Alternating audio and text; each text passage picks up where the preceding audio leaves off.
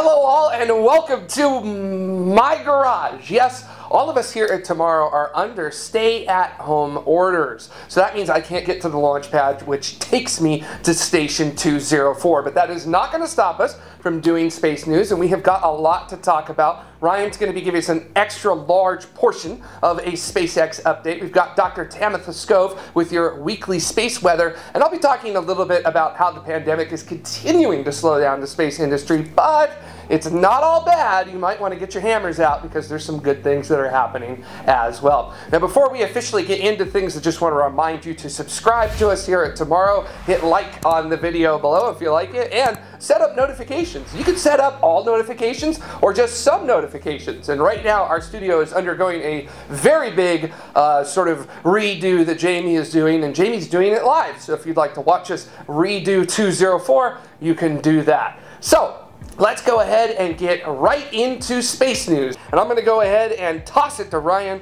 for our SpaceX update to start. The world may not seem like a very nice place at the moment, however COVID-19 has not stopped some very exciting news from SpaceX which has all come together over the past two weeks.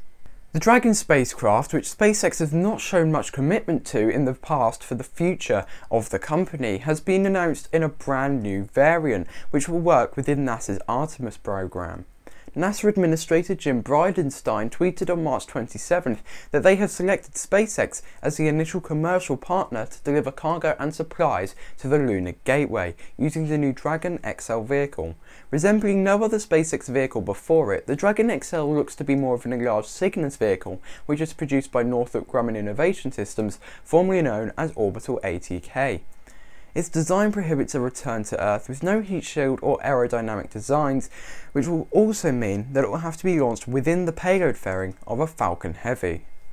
Putting the future into the Falcon Heavy is very exciting stuff because so far it has only launched two commercial missions, and more missions means more money for SpaceX and much more enjoyable launches for us humans to watch. When at the gateway, the Dragon XL will aim to stay from anywhere between 6 to 12 months, which is a much longer window than its smaller sister stays at the ISS for.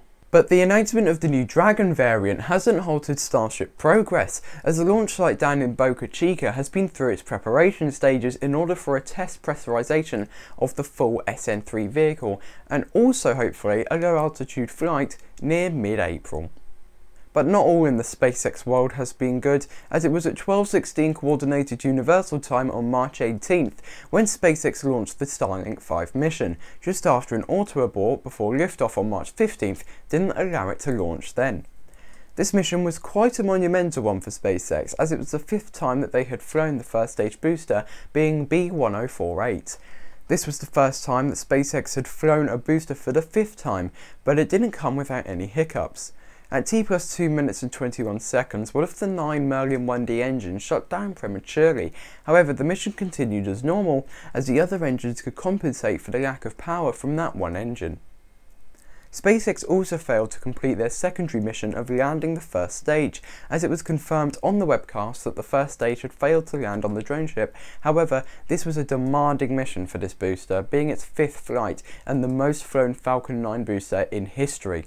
SpaceX also used completely reused fairings on this mission, and they recovered both of them, however they did have to be fished out of the ocean. Thanks for the update, Ryan. I'm really looking forward to hearing about the data from SpaceX, especially about what happened to that Merlin engine. And it may take a little extra longer for that to happen because around the world the COVID-19 pandemic is accelerating, which is causing the space industry to slam on the brakes. Arianespace announced this week that launch campaigns at their Guiana Space Center in French Guiana are suspended, and they'll be holding off on Ariane 5, Vega, and Soyuz flights until it's safe to do so. This will also impact the debut of Arianespace's new Ariane 6 launch vehicle that was set to occur this year. And Rocket Lab has also announced that they're pausing operations in New Zealand and then will resume them when the recommendations allow. All operations at NASA's Stennis and Michoud facilities are shuttered. That means that they are now leaving Orion and the Space Launch System high and dry. So that green run of the Space Launch System first stage is delayed. Nine of NASA's 18 facilities are set at what's called Stage 4 response. That means that everyone is doing mandatory telework unless you are involved in the immediate safety and security of that site. Now, the nine other facilities are at stage three, which is mandatory telework unless you are a mission critical personnel. Work on time critical missions like the Perseverance Mars rover continues, but even a big mission like the James Webb Space Telescope has seen its work stop, and we're likely to see that launch date for Webb slip again, but no fault of its own for once. Internally, NASA is looking at any and all ways it can help contribute to combating the pandemic on a local, regional, national, and global scale. But not all of the news coming out of the spaceflight industry recently has actually been all that bad. NASA and Roscosmos will be sending the upcoming Soyuz MS-16 crew of Anatoly Ivanishin, Ivan Vagner, and Chris Cassidy on schedule with liftoff planned for April 9th at 0805 Universal. Likewise, the crew of Soyuz MS-15, Oleg Skripochka, Jessica Meir, and Drew Morgan, they are scheduled for an on-time return to Earth on April 17th. And Mitsubishi Heavy Industries in Japan has reaffirmed its commitment to try and move forward with the debut flight of of its new H3 rocket, which will replace the current workhorse H2 rocket. So even with this slowdown because of the global pandemic, it looks like we're still at least ever so gently moving forward towards the future. Now, one thing that certainly has not slowed down is launches. So let's go ahead and get ready to go all over the world this week because we've got a lot of them to cover. A new variant of China's Long March 7 rocket, known as the Long March 7A, began its ascent from the pad at the Wenchang Space Center on March 16th at 1334 Universal Time. The payload was classified, but what was not classified, several hours after the launch, news agencies reported that the launcher had failed. Video on social media shows a bit of a boom during the first few seconds of the burn of the second stage. We'll get you more information on this failure if it ever becomes available. A handful of hours later at the Plesetsk Cosmodrome in Russia, a Soyuz 21B rocket carrying a GLONASS satellite, M60, left the pad at 1828 Universal Time. Now Roscosmos and the Russian Ministry of Defense confirmed its entry into the correct orbit. GLONASS is Russia's own navigation system, and M60 now joins 24 other active GLONASS sats, along with another new satellite launched in December 2019 that is still undergoing testing. Heading a little down south to the Baikonur Cosmodrome in Kazakhstan, a Soyuz 21B rocket lifted off on March 21st at 1706 Universal Time. It was carrying 34 satellites for high-speed, space-based internet communications company OneWeb. Now, Arianespace arranged the launch services for OneWeb, and they confirmed that all satellites were successfully deployed into low Earth orbit several hours after launch.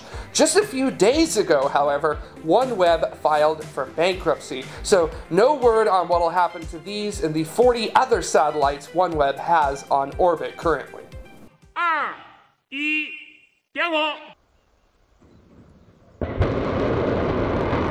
Jumping east from Kazakhstan to China, a Long March 2C left the launch pad at the Xichang Space Center at 0343 Universal Time on March 24th. It was carrying three satellites simply known as Yaogan 3006.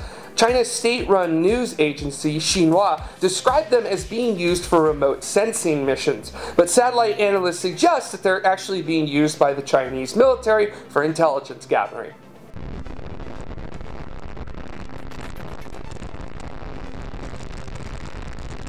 that's a nice little blast from our own photographer of tomorrow, Adrian Ruiz, placing a camera where most folks don't, getting that full experience. And I gotta say, I forgot just how fast an Atlas V 551 gets off of the pad. I mean, it's 58 meters tall, goes like a hot rod. Anyways, back to the launch. On March 26th at 2018 Universal Time, an Atlas V in the 551 configuration, its most powerful one, leapt from the Cape Canaveral Air Force Station. 551 designates five solid fuel boosters, a 5 meter payload fairing, and a single engine Centaur upper stage. this was carrying the final advanced extremely high frequency satellite AEHF 6. This was the first dedicated United States Space Force flight. After several hours of burns by the Centaur upper stage, AEHF 6 was successfully placed into its target orbit, where it will now help out the U.S. Armed Forces all over the world to have secure communications. And here are your upcoming launches. And if you're feeling down, go ahead and get up and dance a little bit.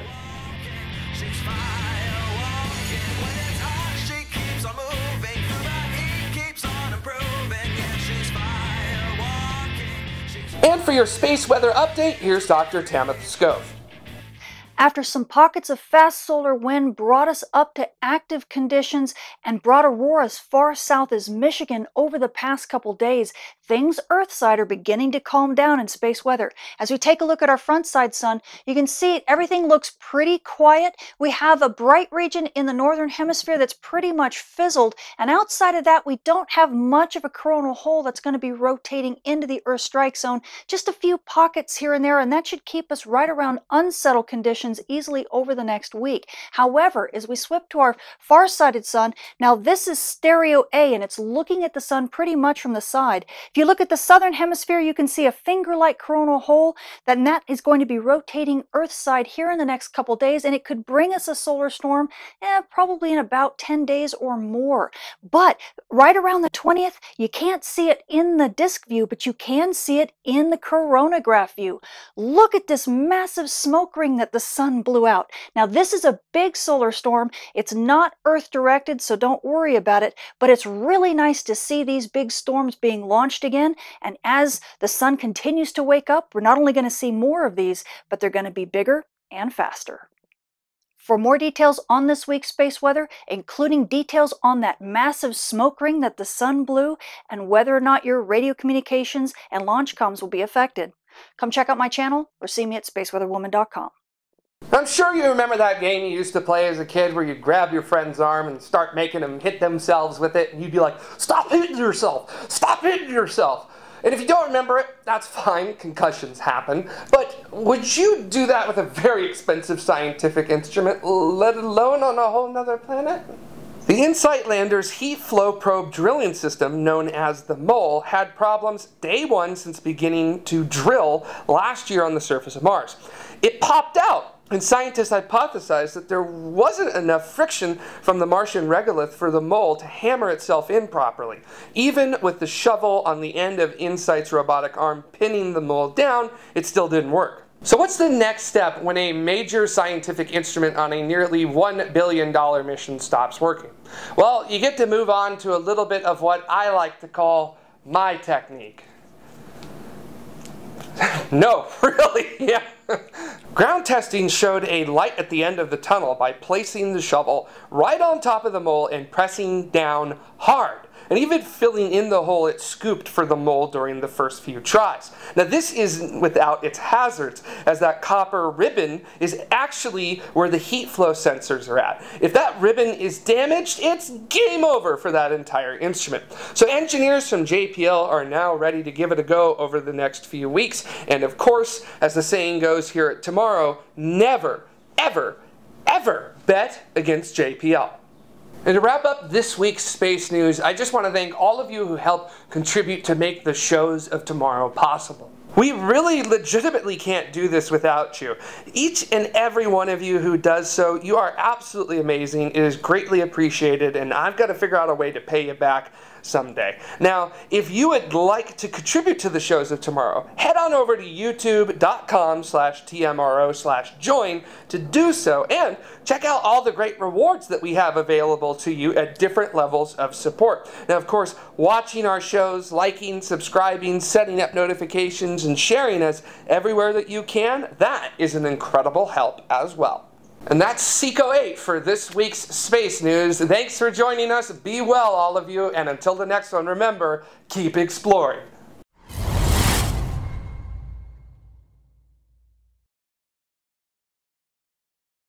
Just want to remind you to subscribe, like to us, and. that was pretty good. I was doing pretty good. Not mad at that. I, I was, I was, I was coasting. I was cheesing it. It's getting good. It's rocking it. It's making it happen. It's burning it. Hello, everyone, and welcome to.